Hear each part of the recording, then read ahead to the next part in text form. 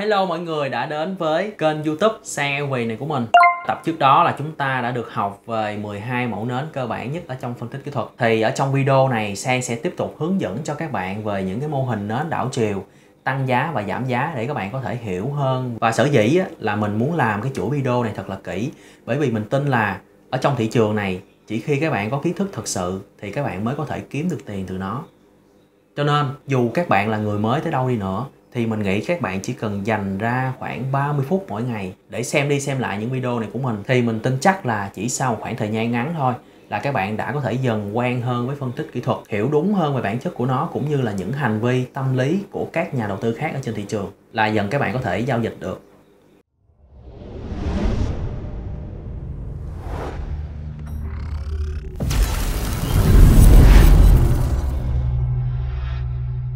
Và trong video này đây, mình sẽ hướng dẫn cho các bạn về những cái mô hình nến đảo chiều này. Những cái mô hình nến này là chúng ta sẽ tiếp tục học. Trước đó là các bạn thấy là gì? Là chúng ta đã học một số mẫu nến cơ bản, đúng không? Và ở trong thị trường này nè, đây, các bạn nhìn nè. Bullish, neutral, bearish, nó là cái gì? Trong thị trường này nó chỉ có ba trạng thái thôi. Một là tăng, hai là giảm, và ba là đi ngang, đúng không? Sideways. Thì đây, bullish bullish là cho thấy cái xu hướng thị trường nó tăng đó các bạn. Một xu hướng của thị trường nó đang tăng giá thì người ta gọi là bullish hoặc uptrend đó còn bearish chính là giảm giá nên nó có cái màu đỏ đây, là tượng trưng cho thị trường giảm giá, downtrend. Còn neutral chính là trung tính. Có nghĩa là trong giai đoạn đó thị trường nó cứ đi ngang và không rõ được xu hướng của nó như thế nào. Đó. và tương ứng, mỗi len ở đây, các bạn có thể thấy ở đây là bullish nè. Trước đó chúng ta học từng mẫu nến cơ bản thì nó có gì? Nến hammer nè. Uh, in, inverted hammer là búa ngược. Và cho dù là búa thuận hay búa ngược thì các bạn thấy nè nó đều ở dưới đáy của một xu hướng giảm để nó báo hiệu đảo chiều sang một xu hướng tăng. Cho nên nó nằm ở bên phần bullish này cũng như là kế bên nó có là dragonfly doji là doji chuồn chuồn đó nó cũng nằm thường nằm ở đáy một xu hướng. Và ở đây là bullish spinning top ở những cái nến ờ, bullish spinning top này thì thường nó uh, cho tín hiệu rất yếu cho nên chúng ta không cần quan tâm ở đây đúng không? Và bearish thì nó có là hanging man nè là treo cổ phải mua đó. Bạn nhớ không? Ở đây có bạn nào ôn bài không? Ôn bài kỹ chưa? Mặc dù cái hình cây nến nó có vẻ cũng giống như là cây búa vậy đó. Nó cũng giống như là hình cây búa ở đây nè. Nó giống với lại cái cây búa bên đây đúng chưa? Nhưng chúng ta gọi nó là nến búa khi nó ở dưới đáy của một xu hướng giảm. Và chúng ta gọi nó là hanging man và shooting star khi nó ở trên đỉnh của một xu hướng tăng. Đó.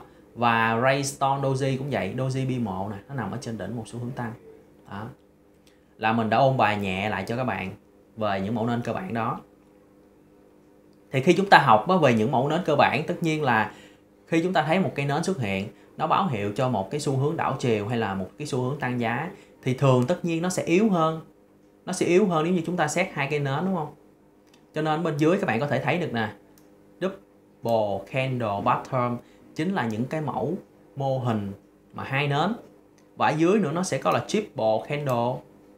Đó, và dần các bạn cứ thấy là chúng ta quan sát tín hiệu một cây nến thì tất nhiên nó sẽ yếu hơn là tín hiệu của hai cây nến. Và tín hiệu của hai cây nến thường nó sẽ yếu hơn là tín hiệu của ba cây và bốn cây năm cây và thậm chí về sau các bạn học về những cái mô hình giá, nó là một cái mô hình giá của rất nhiều cây nến, thì thậm chí nó sẽ cho tín hiệu là nó mạnh hơn. Đó, ví dụ vậy. Và bài học ngày hôm nay thì mình sẽ hướng dẫn cho các bạn trước về double candle pattern là về những cái mô hình hai nến đảo chiều này. Nó sẽ gồm có một phần là bullish, là khi xuất hiện những mẫu hình nến này nó sẽ cho thấy cái tín hiệu đảo chiều tăng giá. Nghĩa là trước đó đang giảm nha gặp những mô hình nến này nó sẽ đảo chiều qua tăng giá. Và bên đây là double candle pattern ở đây là nó tượng trưng cho thị trường bearish, có nghĩa là nó đang tăng giá và nó đảo chiều thành giảm giá. Là chúng ta học được cái sự tương quan giữa hai mô hình nến này. Và tập sau thì sang mới hướng dẫn tiếp cho các bạn về những cái mô hình mà nó ba nến. Rồi, ok, về những mô hình hai nến thì chúng ta có khoảng là 10 mô hình các bạn. Như trước đó sang có nói rồi đó là mỗi mô hình nến nó sẽ bao gồm là bullish và bearish như các bạn thấy là bullish và bearish kicker. Và sau đó chúng ta có là engulfing nè. Rồi số 5 số 6 nó sẽ là piercing line và dark cloud cover. Hai cái thằng này nó cũng sẽ tương phản như những mẫu nến bullish bearish ở phía trên. Và cái thứ bảy là chúng ta sẽ được học về là bullish harami. Số 8 là chúng ta sẽ học về bearish harami. Đó, nó đối nghịch với nhau như vậy và 9 10 sẽ là trigger bottom và trigger top. Rồi, bây giờ chúng ta sẽ đến những mẫu nến. Đầu tiên đó chính là bullish kicker. Đây đây là cái dạng bullish kicker. Hay người ta còn gọi cái tiếng Việt của nó thường cái từ kicker này là sút đó các bạn. Đá đá nó lên sút lên đó. bullish kicker. Thì tất nhiên, khi các bạn thấy một cái mẫu nến, cái mô hình nến mà về bullish kicker thì các bạn cứ hình dung cho mình là trước đó nó đang là cái xu hướng giảm nè là nó có những cây nến giảm giá ở đâu đó đây nè. Đó, rồi sau đó nó mới xuất hiện một cái cây nến. Cây nến đỏ tiếp ở đây. Đó, là đang xu hướng đang giảm nè. Đúng chưa? Thì bây giờ, nó xuất hiện một cây nến xanh tiếp theo ở phía ở phía bên phải. Cho nên đây các bạn có thể hình dung nó vậy nè. Cái thằng nến đỏ ở cuối một cái chu kỳ giảm nó giống như là cái cầu thủ vậy đó. Nó mới sút lên một cái cây nến xanh nó sút lên đây nè. Là nó mới tạo ra cái trạng thái bullish đó. Đó, thằng nến đỏ này giống như cái cầu thủ sút cái trái banh lên. Là cái nến xanh ở phía trên này. Còn ở bên bearish này á, thì nó sẽ là đỉnh của một xu hướng tăng mà. Ở đây đang xu hướng tăng nè. Đang tăng lên, những cái nến nó đang tăng lên dần ở đây đó. Thì nó sẽ là sút xuống một cái nến giảm này để báo hiệu một cái chu kỳ mà nó đảo chiều xuống là giảm giá thì thường á cái nến bullish kicker và bearish kicker này thường nó xuất hiện ở trong chứng khoán và forex nhiều hơn. Cho nên ở đây là sang hướng dẫn thêm để cho các bạn biết về nó có cái loại nến này. Để những ai mà các bạn giao dịch chứng khoán hay forex đó, thì các bạn có thể sử dụng. Còn trong chay coi thì thường nó rất ít xuất hiện loại nến này. Bởi vì ở trong chay coi thì chúng ta chay nó là 24 trên 7 á. cho nên thường nó rất ít xuất hiện cái trường hợp gap là cái khoảng trống như thế này. Thường là nó sẽ xuất hiện một cây nến ở đâu đó nó bên cạnh có thể là một cây nến à, cơ bản hoặc là nến doji hay là spinning top gì đó. Chứ khi nào mà nó tạo được cái khoảng mà bạn thấy nè. Từ cái giá mà đóng cửa của nến đỏ tới cái giá mở cửa của nến xanh đó, nó là cái khoảng rất là dài dài đó. Cho nên thường là nó sẽ xuất hiện ở bên chứng khoán nhiều hơn. Cho nên đây mình nói sơ để cho các bạn biết về mẫu nến này luôn. Để nhiều khi các bạn đọc những tài liệu nước ngoài các bạn tưởng là uh, cái mẫu nến này mới hoặc là cái mẫu nến này sao mình không uh, hướng dẫn cho các bạn. Nó có cái gì bí mật mà mình không có nói với các bạn đúng không? Cho nên đây mình hướng dẫn luôn để các bạn hiểu về nó. Rồi tiếp theo chúng ta mới đi về cái mẫu nến. Bullish engulfing thì cái mẫu nến này xuất hiện rất là nhiều và nó khá là quan trọng cho nên các bạn hãy tập trung vào cái mẫu nến này cho mình. Thì ở đây đối với bullish như mình đã nói khi các bạn thấy bullish thì các bạn cứ nhớ cho mình cái cây nến này nó đang ở một cái xu hướng giảm và chúng ta nhận diện cái mô hình hai nến này để nó báo hiệu cái việc đảo chiều đang giảm chuyển sang tăng. Đó. Thì ở đây chúng ta có cây nến đỏ là cái mức giá open của nó ở đây và mức giá close đúng không? Và sau đó là nó mới xuất hiện một cái cây nến xanh. Nó có cái mức giá mở cửa của nến xanh là thường thấp hơn giá đóng cửa của nến đỏ. À, các bạn thấy là cái giá mở cửa nó đây nè. Nó đây nè đúng không? Thì nó phải uh, đang thấp hơn cái giá đóng cửa của nến đỏ rồi. Do đây nến đỏ nến đỏ cho nên mức giá đóng cửa nó nằm ở dưới nha. Đó. còn mức giá xanh nến xanh thì mức giá mở cửa nó sẽ dưới còn đóng cửa nó trên. Đó. ở đây nè các bạn nhớ cho mình là cái mô hình nến nhấn chìm này á, là nó có một cái giá mở cửa nó thấp hơn cái giá đóng của cây nến đỏ. Và đồng thời cái giá đóng cửa của nến xanh nó phải cao hơn nến đỏ phía trước. Để chi? Để nó tạo thành cái, nó nhấn chìm các bạn. Giống như ở đây đang một cái xu hướng giảm. Đây xu hướng giảm ở đây nè. Mà bây giờ nó xuất hiện một cây nến xanh, mà nó nhấn chìm luôn. Nó bao phủ toàn bộ cây nến đỏ phía trước, nó gọi là nhấn chìm đó các bạn. Và ở đây người ta gọi là nhấn chìm tăng để báo hiệu cái sự đảo chiều đang giảm chuyển sang tăng đó. Vì là nó phủ hết nè, cho nên người ta gọi nó là nhấn chìm nên các bạn thấy là nó nó đang đảo qua dày để nó nhấn chìm, nó tạo cái sự, cái đà tăng giá rất mạnh phía sau. Và ở đây để cho mình ví dụ các bạn cho nó dễ hiểu đây. Đây là cái chỗ mà cái nến mà bullish engulfing đây. Bạn thấy không? Nó đang có một cây nến đỏ đây. Và sau đó nó bị nhấn chìm bởi một cái một cái nến xanh để nó tạo cái đà tăng giá. Mà trước đó là các bạn thấy nè, thị trường là đang giảm giá rất là mạnh đang là giảm giá xuống chỗ cái cây nến đỏ ở đây. Cái khu vực này là đáy của một xu hướng giảm. Sau đó nó mới tạo ra một cái cây nến xanh phía sau để nó báo hiệu cái việc là uh, bullish engulfing là những chìm tăng đó để nó đảo chiều.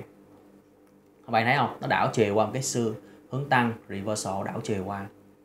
Đó cho nên cái uh, nến nhấn chìm tăng này nó có tác dụng để chúng ta thấy được cái việc mà nó nhấn chìm sau đó là nó đảo chiều xu hướng rồi chúng ta đã có bullish engulfing thì bây giờ chúng ta sẽ có bearish engulfing là cái nến nhấn chìm giảm. Thì nó ngược lại với với cái xu hướng của hồi nãy. Hồi nãy là chúng ta có nó đang giảm chuyển sang tăng còn đây là bearish thì có nghĩa là báo hiệu việc đảo chiều đang từ tăng. Nghĩa là đang từ tăng lên đây nè. Sau đó nó đảo chiều giảm xuống. Thì đây chúng ta cũng có là cái nến xanh. Gió đang là xu hướng tăng đó, cho nên là nó cái điểm khi nó bắt đầu nó là một cây nến xanh, sau đó nó bị nhấn chìm bởi một cái cây nến đỏ.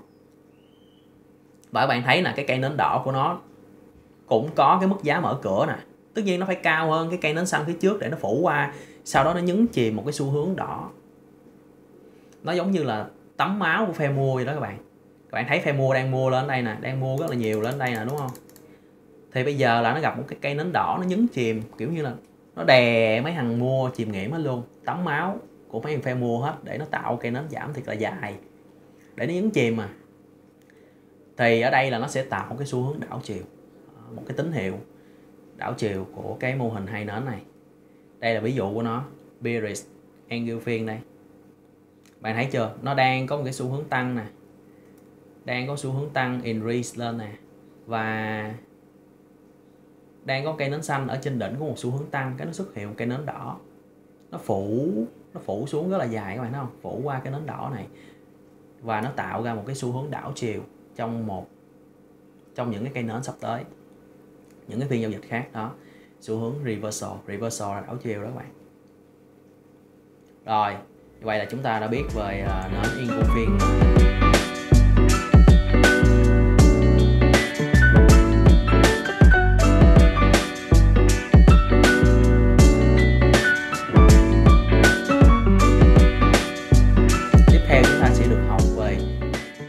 piercing line nến này nó kêu là nến xuyên nến đường xuyên hay là một số anh chị là chúng ta còn gọi nó là nến xuyên thấu đó. Bởi vì cái nến này gọi là nến đường xuyên là nó vậy nè. Ở đây là cái nến đỏ là cho thấy là đây đang một cái xu hướng giảm nha bạn.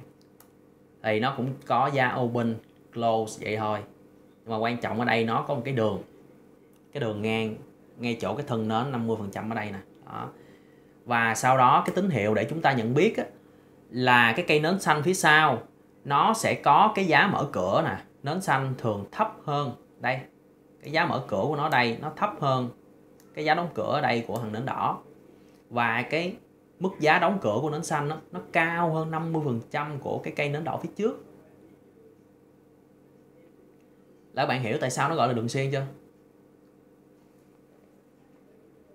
Bạn hiểu chưa?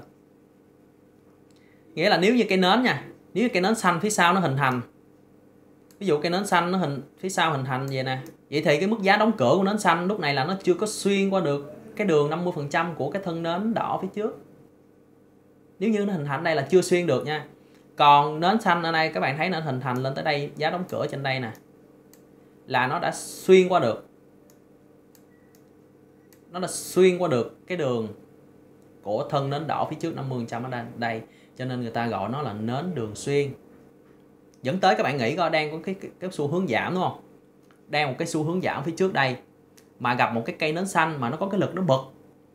Nó bật xuyên qua được cái đường 50% của cái thân nến đỏ này là đang báo hiệu một cái xu hướng đảo chiều tăng.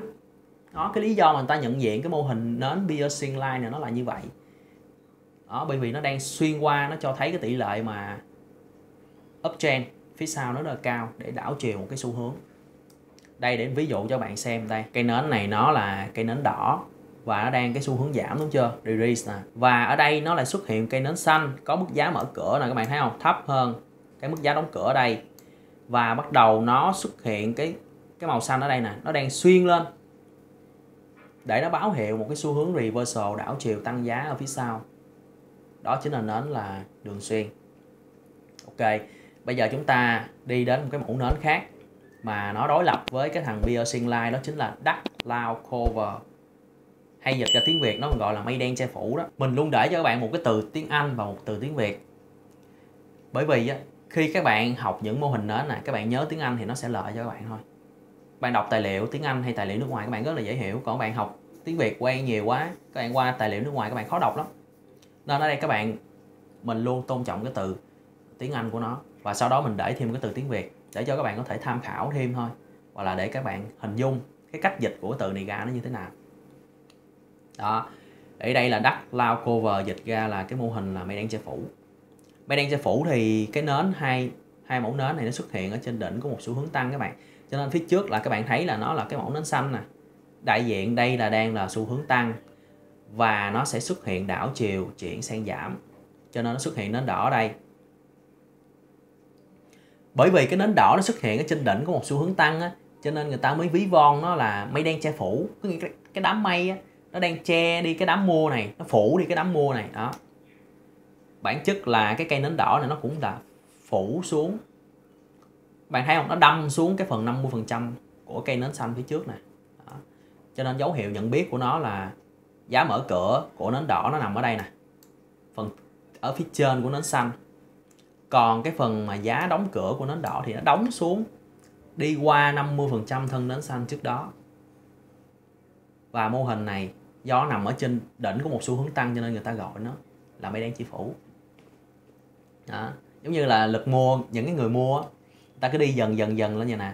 Xong bắt đầu đi, bắt đầu lên cái mức cao quá, bắt đầu là gặp mây đen. Mây đen thì sao? Mưa mưa ướt quá thì phải chạy về chạy về ờ, những người đó người ta không mua nữa thì bắt đầu giá nó giảm. Đó, các bạn có thể tưởng tượng là như vậy. Rồi, ok. Bây giờ cái mô hình này á, thì mình sẽ ví dụ cho các bạn đây nè. Thấy không? Đang có lực mua lên đây nè, đúng không? Là cái phe mua, họ đang mua rất là nhiều lên đây. Nó tạo thành một, đóng một cây nến xanh ở đây, nhưng mà sau đó nó gặp nè, một cái cơn mưa rào. Cơn mưa rào trải qua, che phủ cái đám đang mua này, tạo thành một cái xu hướng giảm nhưng cái xu hướng giảm này, tất nhiên là cái cơn mưa, nó chỉ kéo dài trong một khoảng thời gian nhất định thôi, sau khi hết mưa thì nó lại lao ra đường. Giống như là sau khi hết mưa, các bạn lại chạy ra đường, các bạn đi chơi người yêu tiếp. Cho nên là có thể nó tạo ra một xu hướng tăng tiếp theo. Sau đó tăng được lên tới đây. Nó lại gặp thêm một cái cơn mưa rào nữa nè. Một cái đám mây ở đây. Nhưng mà ở đây các bạn có thể thấy là cái cây nến xanh này nè, cái phần 50 phần trăm nó ở đây lận. Và cây nến đỏ nó mới đóng tới đây thôi ở đây chúng ta có thể xem nó là cái mây đen che phủ cũng được do cái râu nó đã đâm xuống đây rồi. Nhưng mà thường á cái tín hiệu này thường nó sẽ cho cái uh, cái mức yếu. Tín hiệu này là nó sẽ yếu bởi vì cái phần thân nến nó không thật sự mà nó vượt tới đây. Ở cho nên nó tạo cái xu hướng giảm này các bạn thấy không? Nó rất ít. Hầu như rất ngắn sau đó nó tăng lại. Sau đó mới gặp thêm một cái nến là mây đen che phủ nữa nè.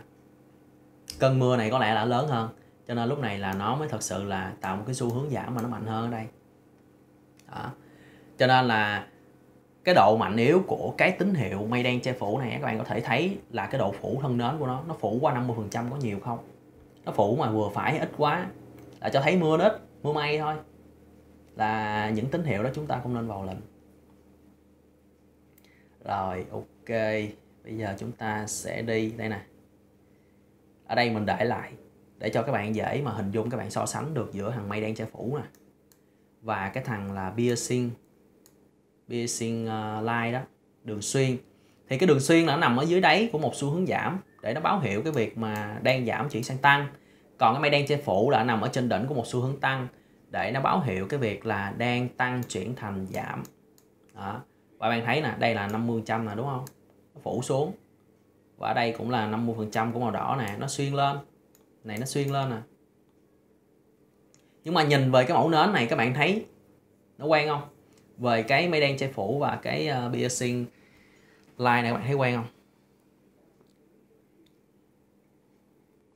Nó giống đến gì? Giống giống đến gì mà các bạn mới học nãy? Giống đến nhấn chìm không?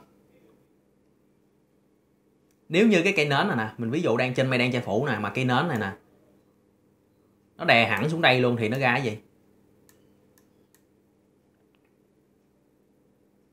Phải là những chìm giảm không? Thì nếu như các bạn có thể hình dung nè. Hình dung đây là nếu cây nến mà nó phủ qua 50 trăm là mây đen che phủ, đúng không? Nhưng mà nếu như mà mưa mà nó to quá, nó tạo tín hiệu như là mây đen dần vũ hay là quá nhiều mây, mưa nhiều quá thì nó nhấn chìm luôn. Nó nhấn mấy này chìm nghiệm hết luôn. Bạn có thể hiểu như vậy. Còn đây cũng, ở đây cũng ờ, là tương tự. Ở đây nếu như mà xuyên, nó xuyên qua mà tạo một cây nến rất là dài nè, thì nó xuyên chết mấy thằng phe bán này luôn để nó tạo cái xu hướng tăng đó, ok chưa? Và thường nếu như những cái tín hiệu như mình nói rồi nó tạo ra một cây nến mà nó đóng cái phần thân nến đó, mà nó phủ qua phần 50 phần trăm thậm chí nó phủ lên để tạo thành một cái nhấn chìm luôn á thì nó sẽ cho tín hiệu mạnh hơn thôi. Còn khi mà cho tín hiệu yếu quá buộc các bạn phải xem thêm những cây nến phía sau. Thì lúc này chúng ta mới chắc ăn được còn không thì chúng ta không vào lệnh. Không vào lệnh là những cái trường hợp mà nó không không rõ xu hướng. Rồi bây giờ chúng ta sẽ tới cây nến thứ bảy này. Cái nến thứ bảy này bullish harami. Là cái này dịch ra tiếng việt, harami nó giống như là mang thai đó bạn. Mẹ bầu, mang thai, người có thai, có con đó. Cho nên nến này chúng ta có thể gọi nó là nến giống như là nến mẹ bồng con cũng được. Cây nến đỏ nè, tượng trưng cho xu hướng giảm nè, là nến mẹ. Còn cái cây nến bên cạnh ở đây nè, các bạn có thể hình dung nó nến con. Và thường á, cái thân của cây nến mẹ nó sẽ dài và nó bao phủ luôn cái nến con giống như là cái bụng đó bạn. Cái bụng bầu, cái bụng bầu của cái cây nến đỏ đó là cái cây nến xanh này. Và thường cái thân nến con này thì nó nó chỉ có khoảng 30 phần trăm của nến mẹ thôi. Hoặc thậm chí là đa phần là nó sẽ nhỏ hơn 30 phần trăm, thường là 25 đó. Là nó sẽ tạo ra mô hình à, nến mẹ bồng con nó tốt hơn. Nhưng đặc biệt ở mô hình này nè, cái nến con là không quan trọng xanh hay đỏ nha các bạn mặc dù cái cây nến đây là à, tất nhiên là nó màu đỏ rồi tự vì nó ở dưới đáy một cái xu hướng giảm để nó báo hiệu đảo chiều sang tăng. Còn cây nến ở đây nó có thể nến đỏ cũng được. Nó cũng báo hiệu cho biết đây là cái nến là bullish mô hình nến bullish harami. Báo hiệu là đảo chiều chuyển sang tăng. Đó. nên mô hình này các bạn nhớ là nến con nó không quan trọng xanh hay đỏ cho mình. Và đây là ví dụ về nó đây các bạn. Các bạn có thể thấy ở đây là một cái cây nến mẹ nè. Nó rất là dài đúng không? Cái nến mẹ đây nó rất là dài. Đó. và bên cạnh đây là một cái cây nến con. Thì cái trường hợp này cây nến con thì nó cũng uh, con này chắc cũng hơi lớn quá. Con này chắc mấy tuổi rồi các bạn chứ không phải còn mấy tháng nữa. Cho nên là nó chắc tầm khoảng ba mấy phần trăm của nến mẹ đó. Nhưng mà chúng ta cũng có thể xem đây là cái mô hình là bullish harami. Và nó báo hiệu một cái xu hướng tăng tiếp theo của thị trường. Đó. rồi tiếp theo chúng ta sẽ tới là mô hình là bearish harami, là cũng là nến mẹ bồng con luôn, nhưng mà là xuất hiện ở trên đỉnh của một xu hướng tăng. Thân nến thì nó cũng phủ luôn nến con. Và thân nến con lúc này nó cũng 30% của nến mẹ. Và các bạn nhớ nha, ở đây nến nến xanh tượng trưng cho đỉnh của xu hướng tăng nè. Còn cái nến con phía sau á, ở đây nó cũng không quan trọng là xanh hay đỏ. Xanh hay đỏ đều được, đều tạo ra cái xu hướng giảm đảo chiều của một xu hướng. Rồi đây là ví dụ của nó. Thì đây các bạn nhìn là nó sẽ chuẩn hơn nè. Cái nến mẹ rõ ràng lúc này ở đây là nó rất là dài. Và nến con lúc này nó chỉ có khoảng là 25% của nến mẹ thôi. Cho nên nó báo hiệu cái tín hiệu đảo chiều giảm rất là rõ ràng hơn. Đây, báo hiệu tín hiệu giảm rất là rõ ràng hơn của cái mô hình nến Bearish Harami này.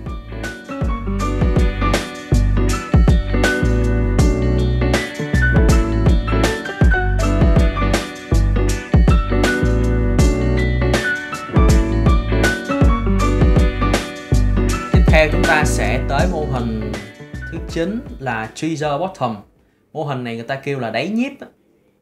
Có nghĩa là cái phần đáy của hai cây nến này nè, nó giống như cây nhíp. Người ta kêu là đáy nhíp. Hai cái đáy nó trùng nhau, giá đóng và mở cửa là nó bằng nhau. Giá đóng cửa cây nến đỏ nè, nó bằng luôn cái giá mở cửa của cây nến xanh. Ở mô hình này người ta gọi là teaser bottom. Để nó báo hiệu cái việc đảo chiều. Nến đỏ đây là đang cái xu hướng giảm nè các bạn nó sẽ đảo chiều sang tăng giá. Đó. thì cái nến này nó có tác dụng như vậy. Và đây là ví dụ của nó đây các bạn. Ví dụ của nó đây. Và trong ví dụ này thật ra là có một số bên nước ngoài thường là nó sẽ sử dụng luôn cả cái phần bóng nến này. Nhưng mà mình thấy nên nha mô hình mà Treasure Bottom này các bạn nên sử dụng. Nên sử dụng cái phần mà thân nến của nó. Cái phần đáy của hai cái thân nến đó, nó trùng nhau thì nó sẽ cho tín hiệu nó chuẩn hơn. Thì cho tín hiệu mà chuẩn hơn. Còn cái phần bóng nến hay cái đầu nến ở đây á, các bạn sử dụng thì nó sẽ thường nó sẽ cho tín hiệu nó nhiễu hơn. Nên các bạn nên xác nhận ở đây nè nó sẽ chuẩn hơn để báo hiệu về một cái tín hiệu mà nó increase nó đảo chiều từ giảm sang tăng nó sẽ tốt hơn rất nhiều. À, đây là mô hình à, tweezer bottom. Tiếp theo chúng ta sẽ có là tweezer top là đỉnh nhíp thì với với đỉnh nhíp thì đây là một cái xu hướng tăng nè. Và nó sẽ có mức giá đóng cửa của nến xanh nó bằng với mức giá mở cửa của nến đỏ. À, và nó báo hiệu là cái việc mà đảo chiều giảm giá các bạn. Reversal. Ở đây mũi tên mà để nhầm đáng lý nó phải nằm ở trên đây nè. Báo hiệu đảo chiều xuống vậy nè. Đó. rồi và ví dụ của trigger stop đây các bạn thấy hai cái nến không? Nó có phần thân nến nè. Là giá đóng cửa của nến xanh nó bằng với giá mở cửa của nến đỏ. Và đỉnh nhíp này nè, cái tín hiệu của nó cho càng mạnh khi mà cái cây nến phía sau á, mà cái cây nến đỏ của nó mà nó phủ xuống càng nhiều. Giống như đây, các bạn thấy nến đỏ hầu như là nó phủ qua cái phần thân nến của nến xanh luôn, nó cho tín hiệu giảm giá tiếp theo rất là mạnh của thị trường. Như vậy là mình đã hướng dẫn cho các bạn về 10 mẫu nến là double candle. Những cái mô hình nến mà nó đảo chiều đang giảm chuyển sang tăng và đang tăng chuyển sang giảm ở đây. Và các bạn nên nhớ nha, những nến mà nó có chữ bullish á, là cái nến đó đang nằm ở dưới đáy của xu hướng giảm thì nó mới báo hiệu được cái việc đảo chiều sang bullish. Còn cái nến bearish á, thì nó phải nằm ở trên đỉnh của xu hướng tăng thì nó mới báo hiệu là việc đảo chiều chuyển sang bearish. Đó, các bạn cứ nhớ như vậy cho mình là được ở trong video sau, mình sẽ tiếp tục hướng dẫn cho các bạn về chip bò candle pattern là những mô hình mà ba nến ở đây. Thì thường những mô hình ba nến thì nó sẽ cho tín hiệu đảo chiều thì nó sẽ mạnh hơn những mô hình hai nến một chút. Cho nên các bạn hãy ở nhớ theo dõi trong tập sau nhé. Là những video này sang làm là rất là tâm huyết và cực kỳ giá trị khi mà sang chắc lọc những kiến thức mà nó phù hợp và nó chuẩn chỉnh nhất để hướng dẫn cho các bạn nên nếu như các bạn cảm thấy quý những giá trị mà mình làm ra, các bạn có thể chia sẻ nó cho những người thân, bạn bè của mình, để những ai cần nói như các bạn, để họ cũng có thể xem được nó. Và các bạn cũng đừng quên like video này, subscribe kênh và nhấn nút cái chuông để có thể xem nhanh được những video mới nhất trên kênh của mình. Cảm ơn các bạn rất là nhiều. Hẹn gặp lại các bạn ở trong video tới nhé.